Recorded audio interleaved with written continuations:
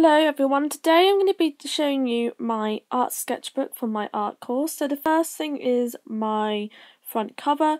As you can see my front, my page was, my theme was fantastic and strange. So here is the mind map and the mood board. It's like a general mood board.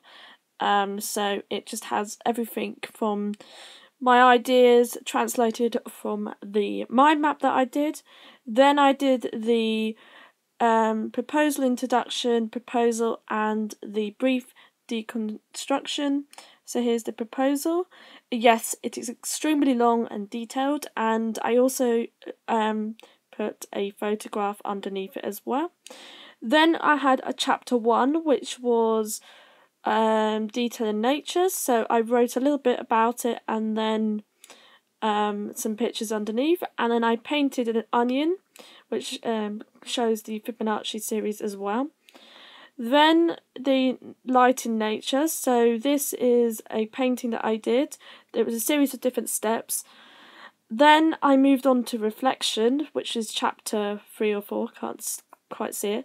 Which I was an abstract painting of an artist, a response to an artist. Then the last chapter, this is the chapter four, trees. So I use polyfiller and acrylics to create a piece of bark like painting. So this is all a painting, but it looks like real bark. Then this is a um, a muse- uh, museum um,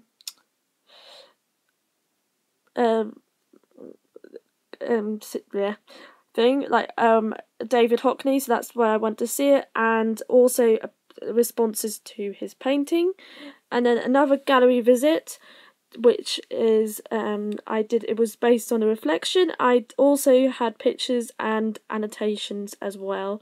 And so here it is.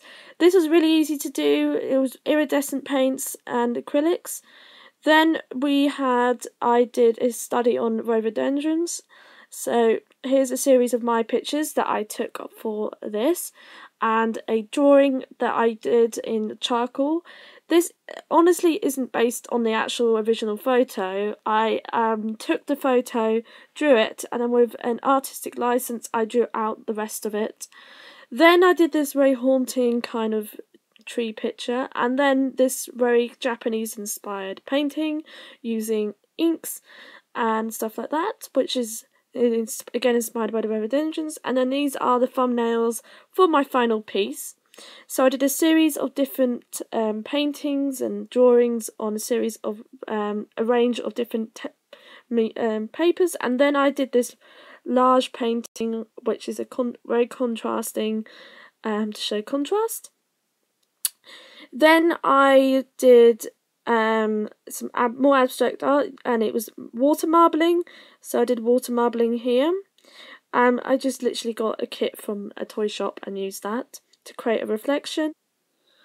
And then I did this very interesting piece, which I used bleach and oil and some sort of um, black paint and orange uh, paint as well to create like an abstract piece and then I did a response to Ai Weiwei. Uh, again, this is kind of like destruction of trees and stuff like that. And then an Anselm Kiefer response as well. So again, there's more writing about him, the responses as well. I did this using polyfiller, real plants, and again acrylics to create this. It's very interesting, very easy to do, very abstract. I also did a bit on um, dandelions as well. Um, my most of my work is very abstract, using real materials and based on nature. I like painting things that are to do with nature and stuff like that. And maths and nature again, I did a small section on this, which is Fibonacci. So here is the um, pine cones. And then I did Karl Blossfeldt, so I did this um, charcoal um, drawing and also print using real ferns and then acrylics. I did um, some annotations again on it, it's just simply writing it, as you can see. Then there's a series of pictures to, that are based on Blossfeldt and a drawing as well of a, um, oh, I forgot the name of it, artichoke and some more ferns. Then I did dandelions um, using charcoal, pencil and arranged materials. And then I started focusing on my... Then I did a response to Claude Monet. So here is the Claude Monet painting that I did. And then I did um, a section on Fauvism. So Fauvism is colours and very simple art, very naive art. So here was some of my pieces and thumbnails, and then I did a bigger painting on that.